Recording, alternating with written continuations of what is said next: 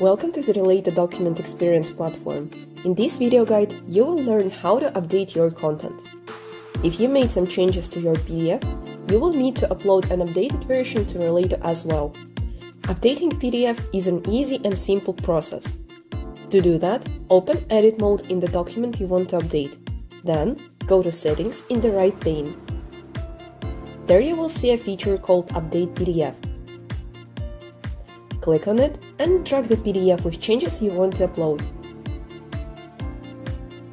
Then you will see the window with pages. Make sure that all pages are matching and click Confirm.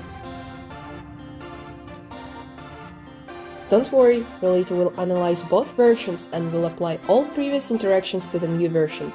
No need to add everything from scratch. Thanks for watching this video.